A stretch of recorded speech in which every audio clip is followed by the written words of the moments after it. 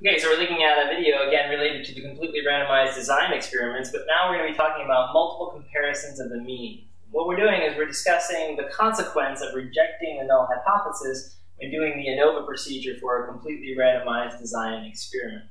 So these multiple comparison procedures that we're going to discuss um, come up whenever you reject the null hypothesis. So that's the first thing you need to know. If you don't reject HO, then there's no discussing this multiple comparison idea because reason why we want to compare the means is this. If I should reject HO, if I throw that out and say it's not valid, that means I'm supporting HA. HA says that at least two of these means differ from one another significantly. So I can find at least two of them that are different from one another. Well, that would lead to the natural question, which two, for example? Or can you find that they're all different from one another? Or maybe two of them are different from the rest, or maybe one is different from all the rest, right? That's that's the whole idea, like, you know, which ones are different, right? That's what we want to know. So that's when we would have to do the multiple comparison procedure. If we don't reject HO, then we're saying they're all the same. Then you don't have to ask that question anymore, which ones are different. None of them are different. If you don't reject HO, you're basically saying you believe they're all the same. In that case, there's no sense in trying to find a difference between them, right? But if you know that at least one of them is different from different from another, then the question might be natural to say, hey, well, which ones, right? Okay, so this procedure, these procedures are designed to tell us that. And here's how they basically work. We basically choose two means at a time and compare them, and we see if they're different. It's very simple. Actually, we have a procedure for this. If we only had two means, we would just compare them. And we do a confidence interval, for example, for like x bar A minus x bar B. And if we did a confidence interval like that, and we saw that A was significantly different from B, we could then conclude that A is different from B, right? So, you know, we know how to do that for just a pair, but there's going to be multiple means here that have to be compared. That's the first thing we want to address here in this video is how many different comparisons must be made. Let's take this example I put on the board. We have four means, right? Four different treatments, A, B, C, and D. So let's just note that that means that K is 4, right? Remember, K is the number of treatments, so K here is 4. Now, how many different comparisons would we have? Well, let's see. We'd have to compare A to B, right? Compare A and B. That'd be one comparison. We'd have to compare A to C, see if those are different, right? That's the second comparison. A to D is 3. Um, we haven't compared B to C yet, so we'd have to do that. And then you have B to D, that's 5. And then we'd have one more comparison, C compared to D. That gives us six different comparisons. What we like to do is make a connection. Like, how did that turn out to be six? Is that just coincidental here, or is there a, a pattern that we could observe in all cases? And there actually is a pattern. The pattern is this. You would take the number of treatments you have, right, or the number of treatment means, which is the same in this case, it's four. Let's just call it K to be abstract about it. So the K treatment means, and you're going to choose them two at a time to compare, right? Choose two of them out of the set that you have to make comparisons. Choose here is also the notation you use for combinations, right? This is a concept from Stats 1 that you may or may not remember. Let me just show you how you work that out. If you work that out, you'd basically be saying that uh, it's k factorial on top, this guy on top factorial, the other one, this guy, on the bottom factorial.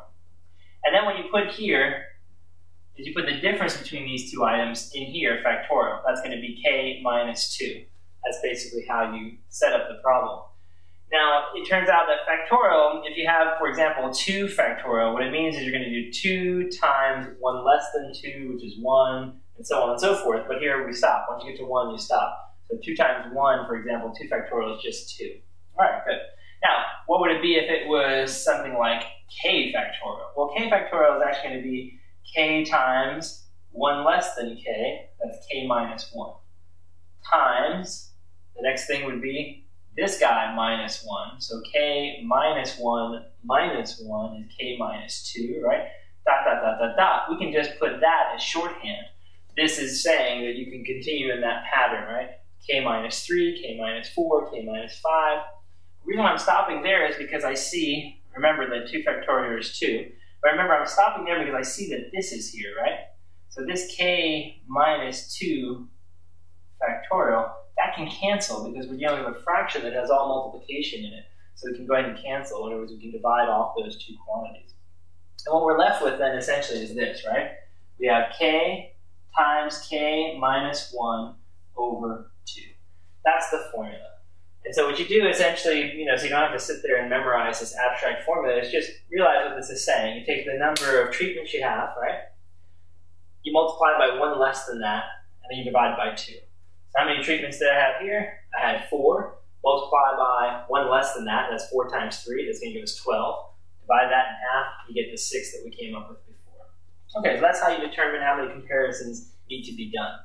If that's asked in your course, you'll have that covered. Okay, now the next thing we want to talk about is essentially what procedures are available to us. You may say, well, shouldn't it just be regular confidence intervals? Um, not actually, because what's going to happen is each confidence interval we would form, if we want to compare A and B, for example, so we did a confidence interval between the two x bars, right? Something we learned how to do earlier on. Um, if you did that kind of comparison here, the problem you run into is that you would have a certain confidence level, let's say 95% for that interval, and then the interval between A and C would have the same confidence level, let's say 95%, and then that one, so on and so forth. When you lump them all together, um, you'd end up having like a probability of at least one problem. I could explain it in detail, but that would chew a lot of time in our video. But essentially, what's going to happen is your confidence level is a lot lower than it should be at the end for the overall set of intervals you've created.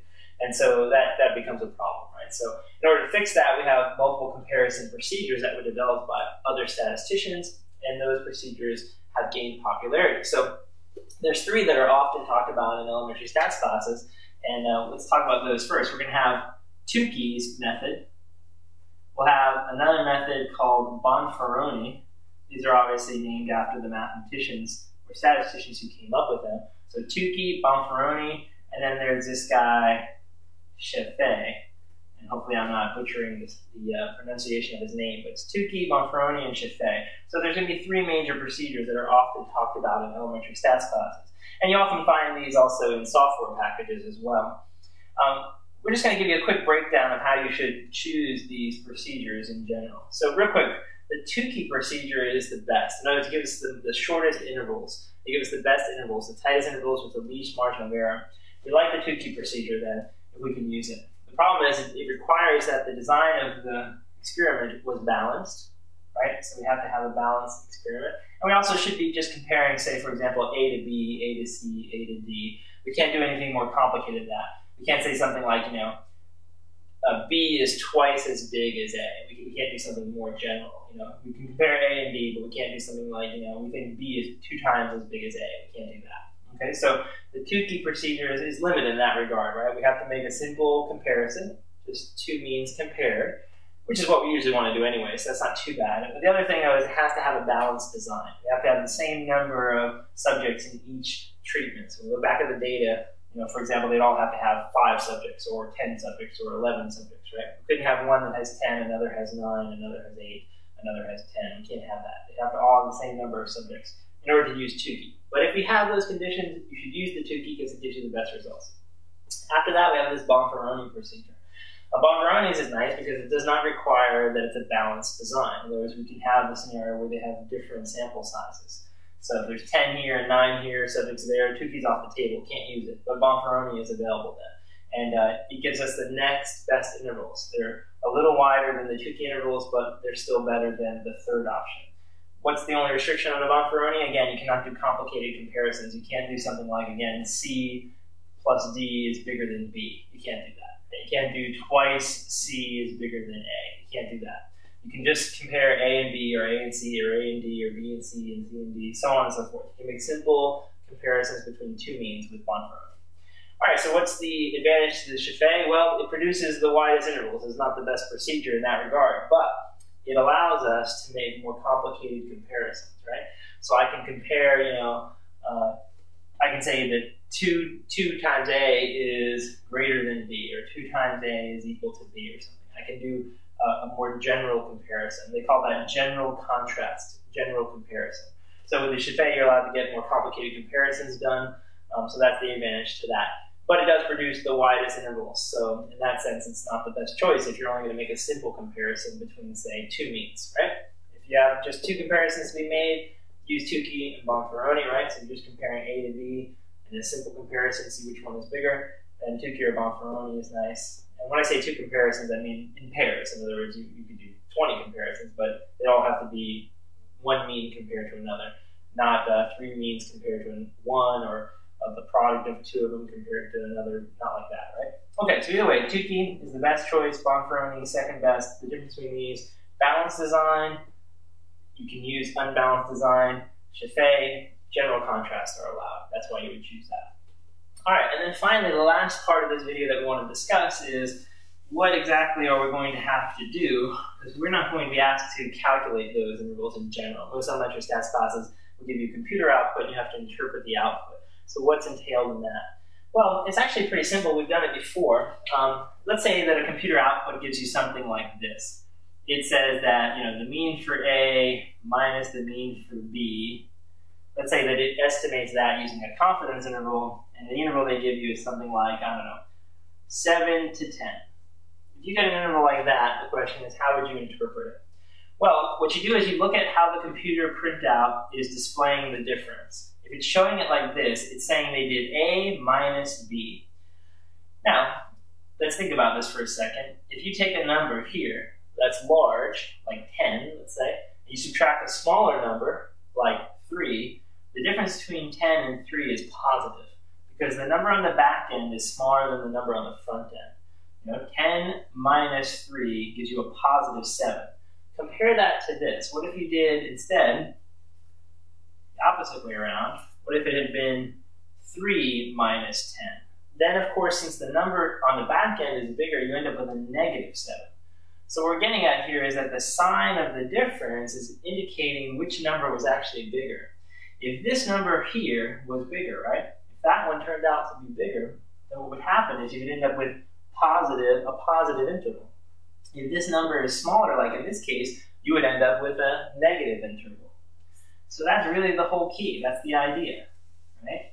So essentially what we're saying is that when you see that both of the limits are positive like that, both limits are positive, it means that this guy is bigger than that guy. You can come along and say, hey, look, A is greater than B. We could do that. If the results were opposite of that, if we had, you know, the same numbers, let's say, but we had them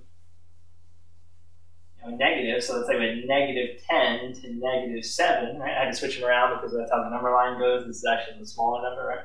All right, but negative 10 to negative 7, since they're both negative, it must indicate that this guy is actually the bigger one, and then you would be able to conclude that B is greater than A.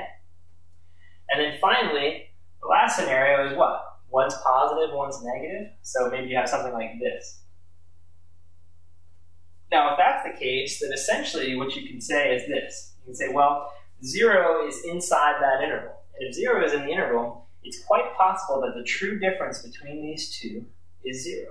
Because this interval is what? The confidence interval, and we're saying that this difference between A and B lies somewhere in that interval. That's basically what our interval is trying to say, right? We think the true difference is somewhere between these two numbers. Well, zero is between those two numbers. And if that difference was zero, we'd be saying they were the same. That means that the mean for A and the mean for B are identical. And if that's the same, then the difference between them is zero. It means they're equal. So there's always the possibility in that case that A is equal to B. However, it's just a possibility. So what we want to do is rather than say definitively they're, they're, they are the fact the same, we're going to do one other thing. We're going to look at that interval on a number line. This is where a lot of people have trouble. We're going to look at it though, and look at you know where negative 10 is and where you know positive 7 is. Let's say 7 is here. Negative 10 would be a little further over here we have more negative space than positive space. Don't you agree? There's only seven numbers here, there are 10 numbers here. So we'd say what? There's a little more negative than there is positive. So it's the same kind of thing. We'd say, well, if it's a little more negative, that means the back number was probably bigger when they did the subtraction, right? It wasn't significantly bigger, but it was bigger because there's more negative in this interval than there is positive. Otherwise, there are more numbers on the negative side than there are on the positive side, right? And if that's the case, it means the back number was bigger. So we aren't going to say that they're equal, but we're going to say it's also possible that B is bigger. So I'm going to say that B is either greater than or equal to A, and that allows for the possibility that A and B are the same, but still shows you that in the sample data, the mean for B was bigger than the mean for A. So that's basically it. We're going to look at a set of output, and we're going to make all these little decisions based on the intervals, and then from there we're going to come up with a statement at the end. Um, there are problem videos devoted to this, so we're really going to take um, that detail and cover it in those problem videos. So that's just a little introduction to the idea that we talk about more in the problem set videos, but basically that's an overview of why we do multiple comparisons and, of course, how we actually interpret the output from a computer. That part of it will be covered in more detail in the problem videos.